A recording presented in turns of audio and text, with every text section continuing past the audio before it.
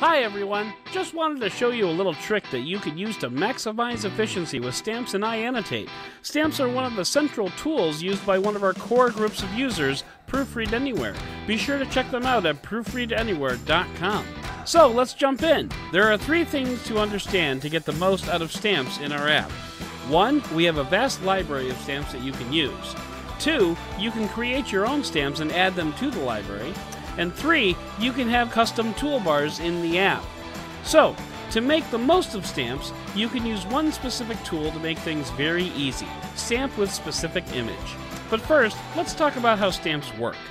To start, let's create a new document. You need to have a document open to work with stamps. Once you have a new document open, let's create a new custom stamp. We have another video that outlines this process from start to finish. You can click on the link in the description to see it. Now that you have a custom stamp, let's talk about how to up your game a little bit.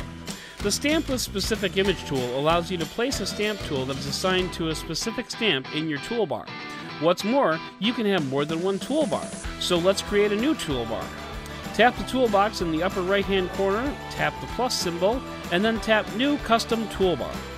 Drag the Stamp with Specific Image tool to your toolbar. You'll be asked what stamp to assign to it. Tap a stamp. Repeat this process for several stamps. You can have an entire toolbar of just stamps.